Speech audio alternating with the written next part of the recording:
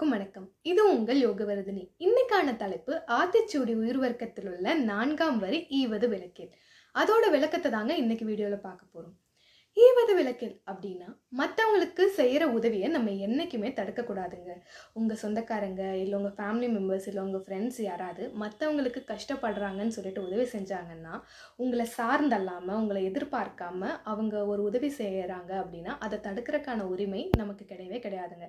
Suppose அவங்க உங்ககிட்ட financial support இந்த பணம் கொடு இல்லை எனக்கு இந்த மாரல் சப்போர்ட் பண்ணி கொடுன்னு கேட்டாங்க அப்படின்னா எஸ்ஆர் நோ சொல்கிறதுக்கான உரிமை உங்ககிட்ட இருக்குது அது பிரச்சனையே கிடையாது அது உங்களோட தனிப்பட்ட விஷயம்.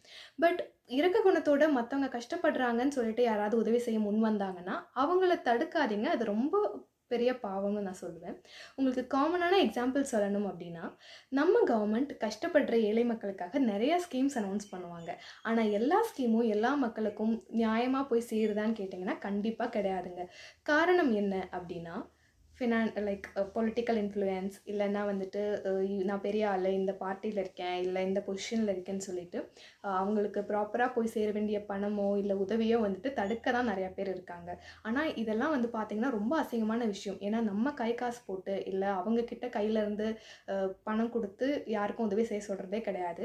ப்ராப்பராக அவங்களுக்கு மற்றவங்களுக்கு போய் சேரணும் அப்படிங்கிற உதவியை வந்துட்டு குறுக்கில் நின்று தடுக்க தான் நிறையா பேர் இருக்காங்க.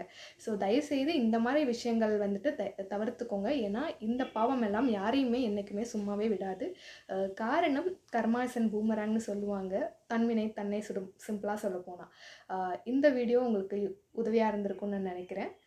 உங்கள் ஃப்ரெண்ட்ஸ் ஆர் ஃபேமிலி யாராவதுக்கு இந்த வீடியோ தேவைப்படும்னு நினச்சிங்கன்னா அவங்களுக்கு இதை ஷேர் பண்ணுங்கள் ஸ்டே சேஃப் டேக் கேர்